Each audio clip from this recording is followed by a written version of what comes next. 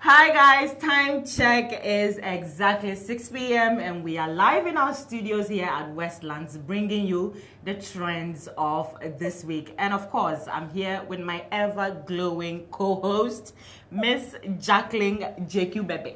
JQ! Yes! and yes, we are going to jump straight into our first story. What a week it's been though. Oh my. I know, right? It has been such a crazy week Yes. filled with so much drama. Drama, drama, And you know, the two of us, we love drama. So, Some middle. Let's get it, get let's it, get, it, get it, get it. First drama of the week.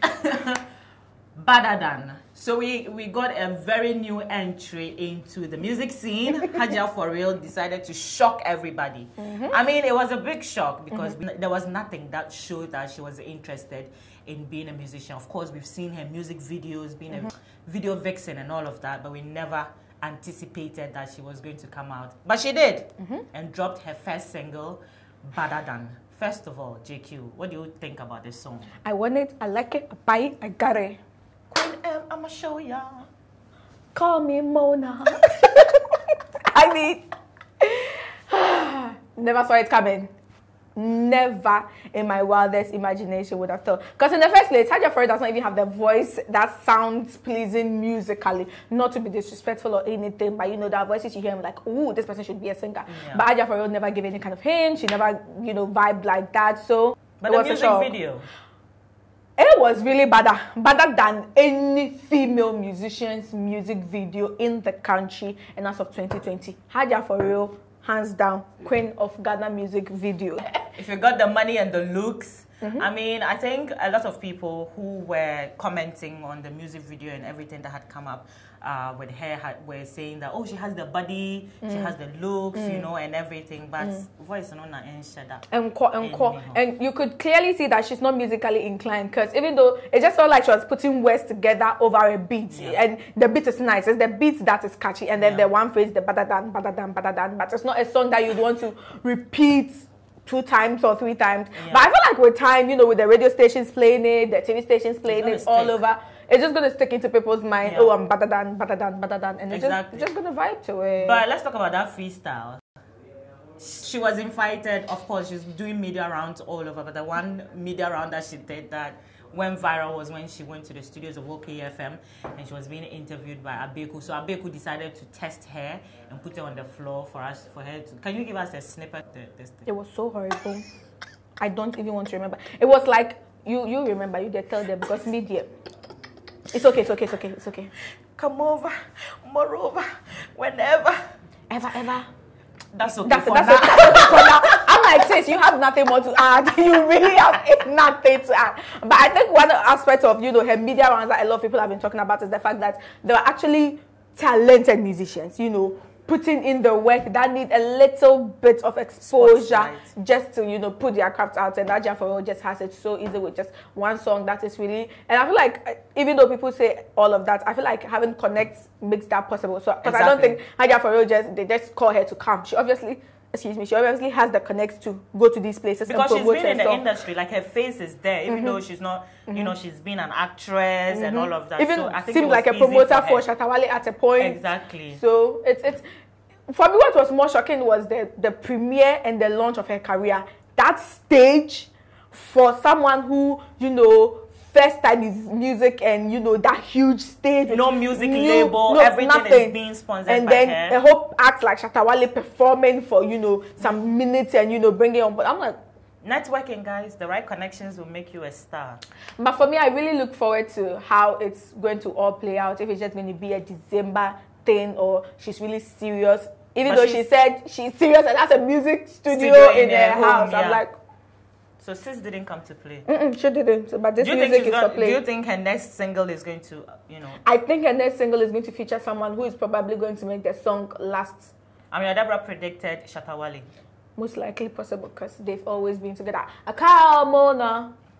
Guys, That's Roll all. it. We are rolling. better than if you haven't watched the music video yet i suggest you do so because it's picking up all the views on youtube as well but then our next story um mps versus actors in ghana so miss shirley ayorkor um during one of her campaign messages, she's a member of the New Patriotic Party, of course, and during one of her campaign messages, decided to dig, you know, you know when politicians that want to play dirty a little, and she made some statements that didn't set well with the Actors Association of Ghana.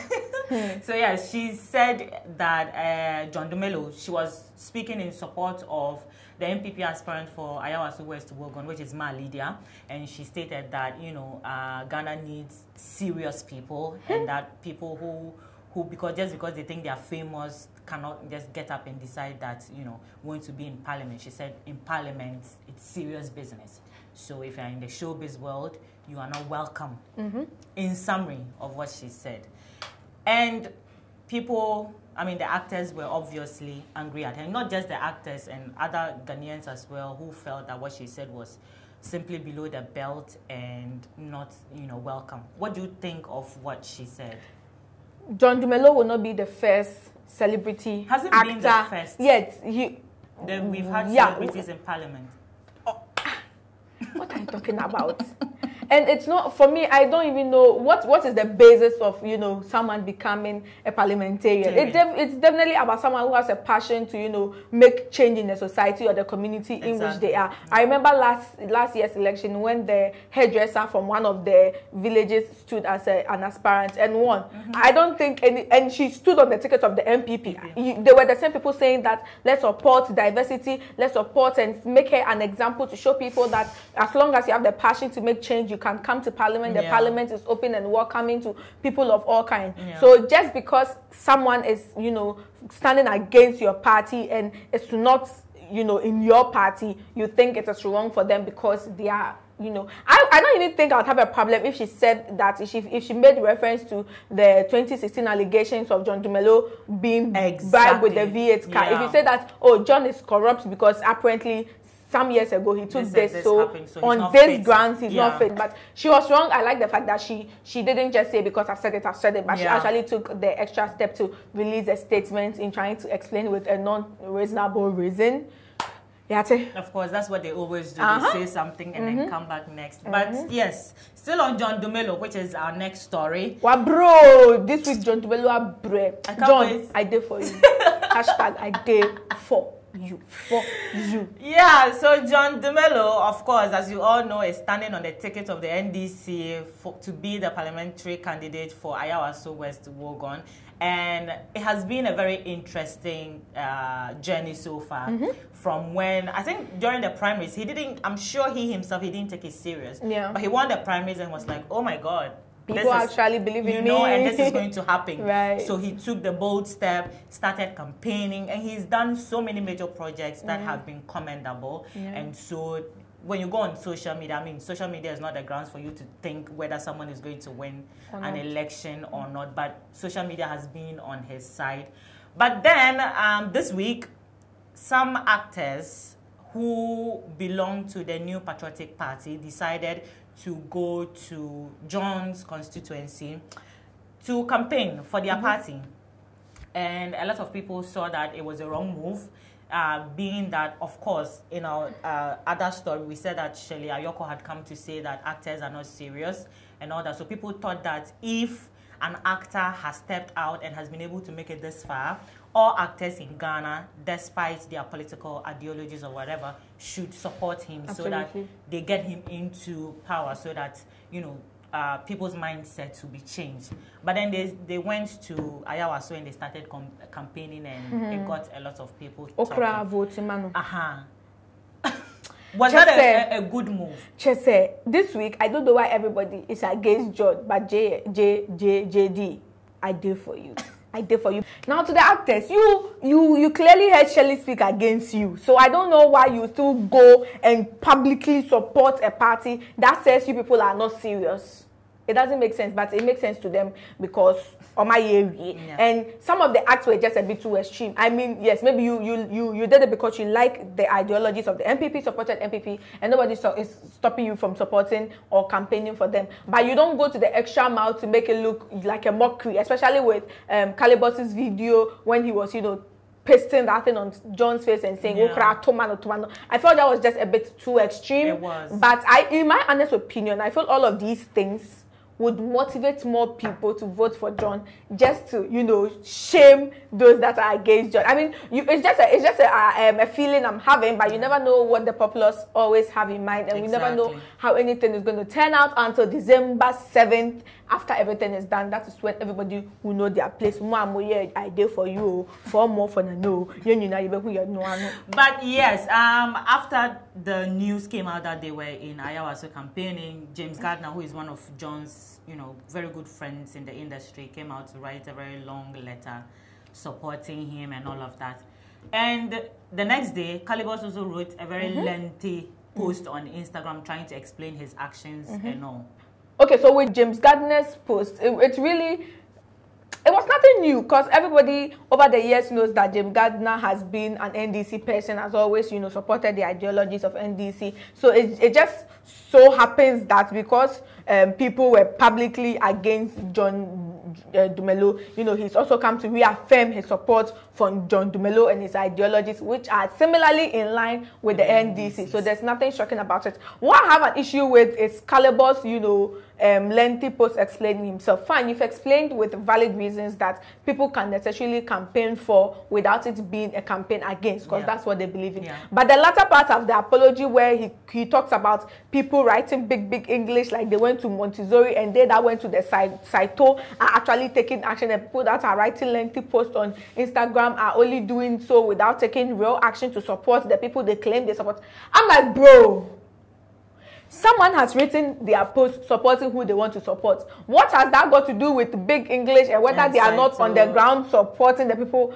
Like, And besides, he said uh, none of them have ever uh, made a post on Instagram, and I I believe that Uh, even though it's campaign, maybe those people are on the ground with him. You have no you have idea. no idea what they are. yeah, the fact that your videos are out doesn't Out. show that you're the ones doing Yeah. the work. You don't know if they're putting in some monetary support to his campaign or anything. So not everybody comes on social media to talk. But I also like the fact that Beverly Afaglo, you know, has been very open about her Yeah. criticism and she didn't mind anywhere. She said, "You people." Are really selling your souls to political people, and she can't wait to see how everything is going to turn out after December 7th. Okay, guys. On that note, we're going to take a quick breather, and we'll be right back.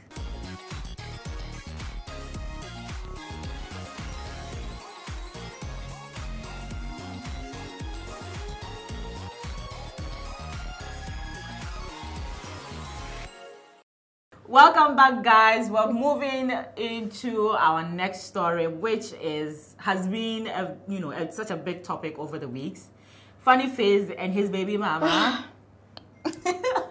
so yeah, guys. Finally, it looks like all the problems have been solved, mm. and Funny Face is back in love. At first, he was depressed in love, but now, ever since his wife, no, his baby mama, who is about to be a wife, by the way, welcomed their third child. He has been over the moon, mm-hmm. has gone on social media spree to apologize publicly, of course, to her and their family, and is ready to put the ring on her finger.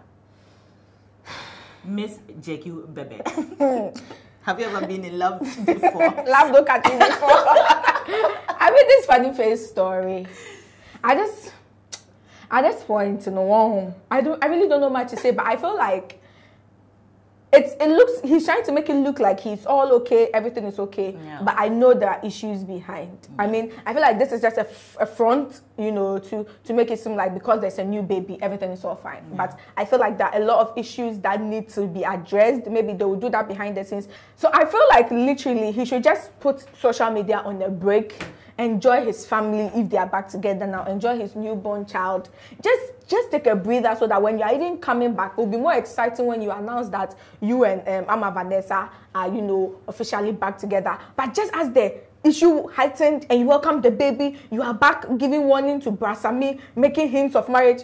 It still doesn't look like all is well. And I like actually like the fact that he openly in one of you know his hideous captions mentioned that he was depressed and that was the reason for some of his actions and then he's seeking help and hopefully Yeah. now that their family is back together all is going to be about funny face take a breather get off social social media enjoy your new baby enjoy your family and have some family time and peace end of story End of story.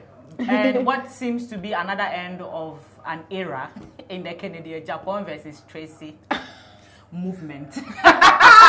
so yes, over the weeks we've you know come here to discuss all the things that are going on in their world. Mm-hmm. But now it seems to have come to an end as Kennedy Agyapong in a recent interview made mention that all the you know uh, claims that he had made that East Legon landlord no ɛyɛ eh, John Dramani Mahama na eh, ɛtɔ fie ne and all that is it was a lie. He was just joking and all of that. And Tracy Wache said okay uh, if you say so. Some jokes are expensive though but I respect you a lot and it was because of some of these things that you said. That's why I came at you with such vulgar words.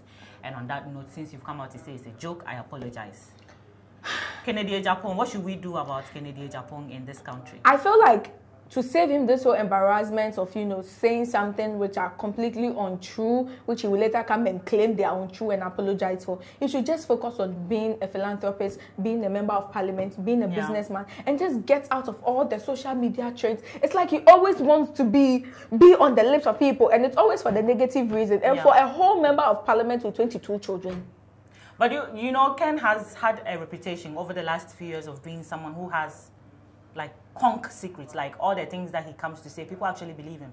Like he has come out to have like make damning mm-hmm. allegations about mm-hmm. people, and some of them always turn out to be true. Mm. But then, would people see him differently now that he has come out? To absolutely I, I absolutely i feel like you know in the beginning people actually believed it was true because you know he took his time with saying some of the things he didn't just pile it up today he come and says that Exactly. once he will come and then he'll come another time so it made people feel like he really did some research into whatever he came to say before Mm-hmm. coming out to say them but then in recent times he just became someone who always had something to say constantly so even people actually started feeling like he's just saying it to trend. He's Yeah. just saying things just to you know be on the lips of people. And he Yeah. actually has come back to say that indeed some of the things he said were false. So it will make people be in doubt with some of the things Things you come back to say later. in but i yeah. feel they've if they've apologized it should end there because i know Ken is one man who can always go back on his leg, and Tracy is one woman who cannot live a day without going on Instagram Live and Facebook Live. So we hope this is really, like you said, an end to an era, Yeah. and then we have some peace and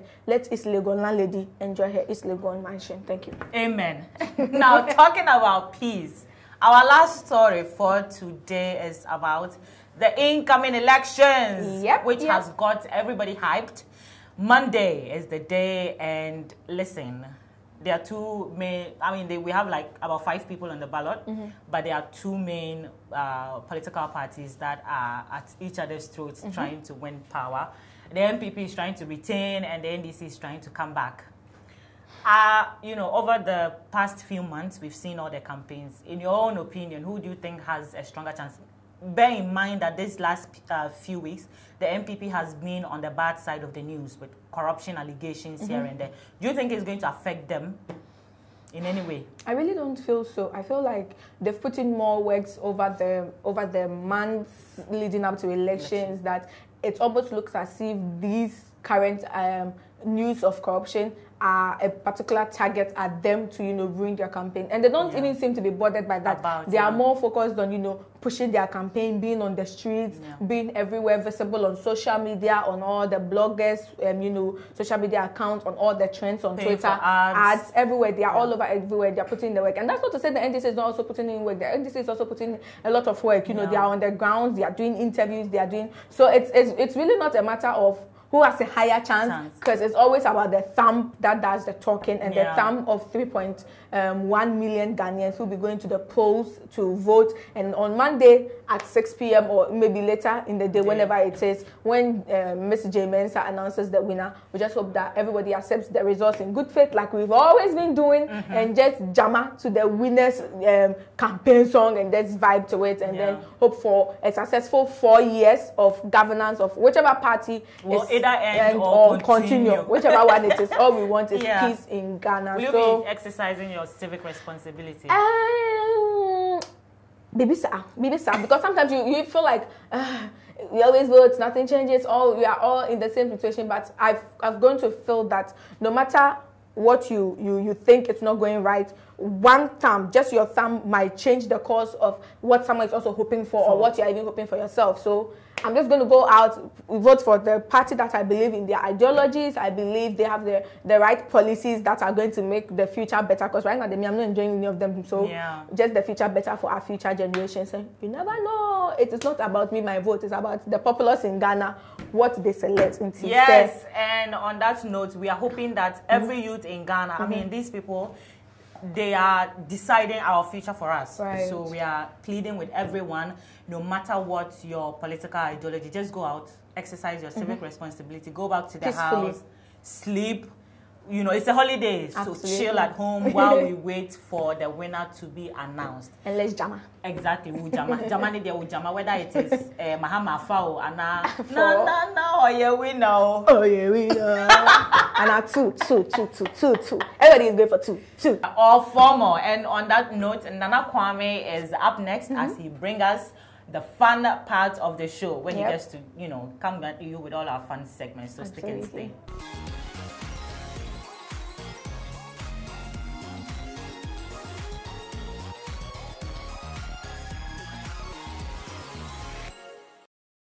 Hey there guys, it's Nana Kwame here and it's time for my favorite part of Trending GH, that is our fun, fun segment. So we're going to be quick and just dive right into that. And number one, we have Shade of the Week.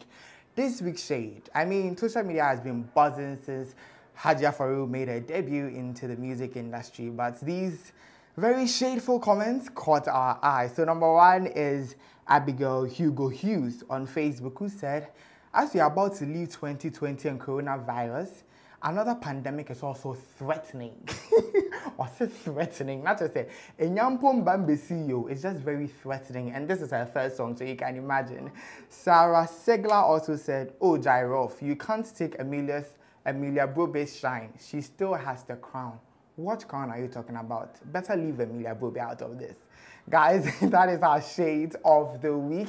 We are moving on to our hot picks, which is fiery, fiery Vonoko. Can you see that? So over the week was her birthday, and these pictures, these pictures. My favorite is that black dress. That's Kim Fitter's diet, though. She's killing it, and that is our hot pictures of the week. And guys, I'm moving on to our next segment, which is what the f. And please, this is a general plea from the Ghanaian populace to Hadia Farouk. Make like a yeah, yeah, bre. That freestyle, you didn't even rap, you didn't even sing.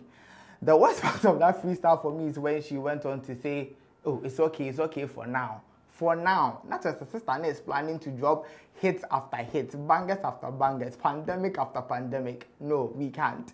And that is our what the F for the week. And our last segment is JQ's very own favorite throwback of the week, where we throw back to when they were on the moon till they came on the stars. And this time is none other than the First Lady of Ghana, Mrs. Akufo-Addo. So Mrs. Rebecca Akufo-Addo is looking very regal in this black and white photo. It's the hoop earrings for me and that afro. There's just something about her. She's looking into the future like she knew she was going to be First Lady of the country. So yeah, guys, look at her. All beautiful, all regal, and all excellent. Fitting for a first lady. And guys, that is our segment this week. So do not go anywhere. They will come back and close it up. Hi guys, it's still trending GH, and don't forget we have some super fun giveaways to do this week. We have amazing vouchers from the number one pizza joint in Ghana, Cheesy Pizza. Just the way you like it. Yeah, so stay tuned for that. But up next is VJ Scarrow with trending tunes. Hey, what's up, my people? It's your boy VJ Scavro, and you know what it is? It is time for trending tunes right here on Trending GH. Now, when you see me guys sitting here like this, you know I've got music to share with you guys. So this week, I've got five dope songs to share with you. Let's start at number five, and I got a year call by Kojo Steve featuring the man Darling Boy. This is hip hop tune. If you love GH hip hop, if you love uh, the, the, the trap tunes that these GH artists are producing, this is a song that you would love. So make sure you check out Yeko by the man Steve, Kojo Steve, alongside Darling Boy, and you're gonna love this tune. Moving on to number four, I got Ankunam by Sefa featuring the man Famia. Now this is a new song that is off of uh, Sefa's uh, e- uh, new album that is Growth. It's a banging song, a perfect collaboration that everybody can jam to, especially the ladies. If you love songs that is a bit on a cool high tempo. This is a song for you. Make sure you check it out. Ankonam at number four, and that's by Sefa featuring the man Family. At number three, I got Highly Spirited by the one and only talented Califina. And this girl's a new artist making it big out there. She's super talented. The first time I, I discovered her, I, I fell in love with her sounds just at the time I listened to the first song. So this song, Highly Spirited, is a song for everybody. If you feel like you're not motivated, you need a song to get you motivated, this is a song that you should listen to. Highly Spirited by the one and only talented Califina is at number three for this week. And at number two, I got Feel Away by the talented Amaarae. And this is off a new album that she just, there's a debut album she dropped not too long ago. It's banging everywhere. All the songs of that album is banging, but Feel Away is one of my favorite. I just had to share with you guys. So make sure you check out this one. It's a number two for this week. Feel Away by the super talented Amaarae. And that's a number two. At number one, we got the song that everybody is jamming to in Ghana and beyond. The song that is banging at all the clubs. Course, by the man Kofi Jamar featuring Yaw Tog and the man uh, YP. Now this is a American thing. You get me? The Kumasi guys are taking over. If you've not heard this song, then you're missing out. But uh, it's never too late because Ekoso is still banging. So this song is the number one song for this week. Ekoso by the man Kofi Jamar featuring Yaw Tog and YP. You got to check out this one. So these are all the songs I got for you this week. Make sure you check it out and make a date with me. Same time next week on Trending Tunes for the best music update. My name is Vijay Scavro and we out here that's all we have for you guys today. See you same time next week as we bring you the latest trends. But until then, do follow us on all of our social media platforms at Ameyaw TV. Mwah.